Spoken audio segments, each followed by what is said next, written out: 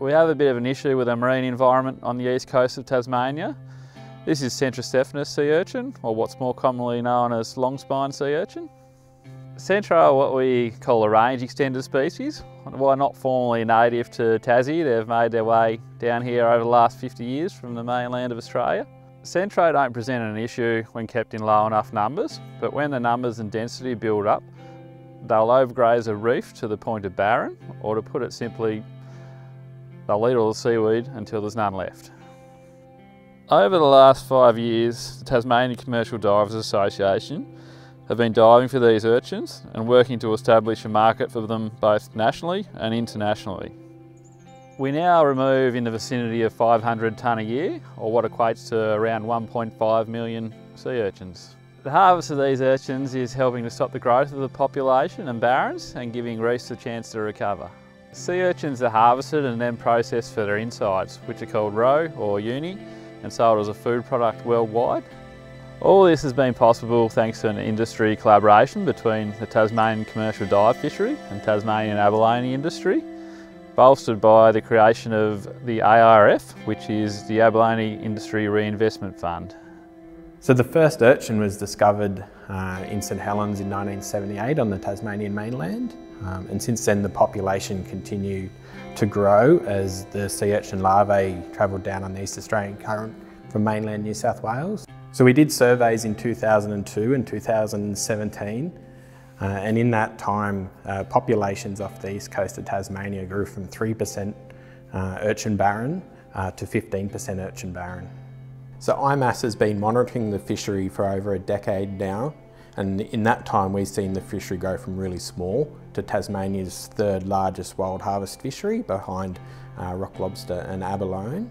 It's now uh, harvested between 400 and 500 tonnes per annum. So that's a, over a million sea urchins coming out per year.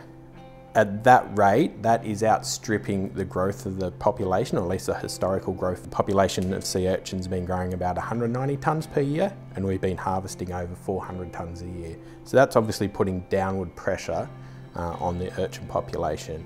And we're starting to see results of that, um, and there's indicators of the stresses on the fishery. So the the average size of the sea urchin harvest is coming down. Uh, fishers are having to move to get their catch. They're going further from port. They're having to move and fish in deeper water.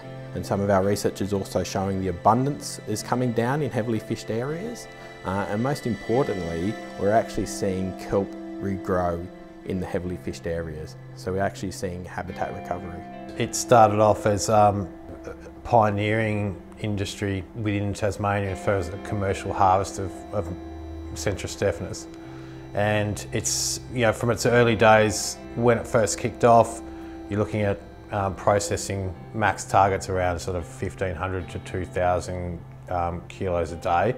Since then, uh, we've worked on our processes, worked on the quality of the product, looking at expanding our markets, um, obviously dealing with our um, suppliers, the divers, and we're now at a stage where we're sort of regularly processing four to four and a half tonne of, of green weight a day, um, five days a week. As our, as our brand, as our, our product gains more, um, more of a reputation in, in the marketplace, uh, we're noticing a, a demand for the product increase, which is really good to see, really pleasing to see. We're certainly at a point now, I guess, in an enviable position where we can sell everything we process. Yeah, so everything we do in urchins is everything's done by hand. So there's there's no automation, there's no machines um, involved in the process at all, and it's resource heavy. It's it takes a lot of people to process four ton of fish a day. You know, if you go in and you're able to view it firsthand, then you really do get a comprehension of just how many people it takes to you know, process that many fishing and, and get them ready for market too because each day, most of our fish from each day's harvest is, is on a plane that, that evening and on its way across wherever it's going in the world. We feel it generates and feeds a lot back into the Tasmanian community and certainly regional Tasmanian communities. And we are seeing the benefits uh, of removing 500 tonne a year for the last couple of years and we're having to range further and further each day to get out the same catch as what we had in previous years. You've gone from fishing in one little isolated bay for your catch. Now to you might have to have two or three jumps to get that same amount. And we're also seeing a big increase in our depth range where we've previous from 12 to 15 metres now we're going down to 25 metres everyone's having to use nitrox just to be competitive enough to get that catch for the day. The only cost effective way is by harvesting them, which we've shown over the last four years were very effective in removing them from traditionally high value areas and areas that we have fished and gone back to and had a look, we have seen that we've got recruitment of abalone and rock lobster stocks in those areas, a lot more scale fish on the bottom. It's just a win-win situation for everyone in that aspect. So the AIRF stands for Abalone Industry Reinvestment Fund.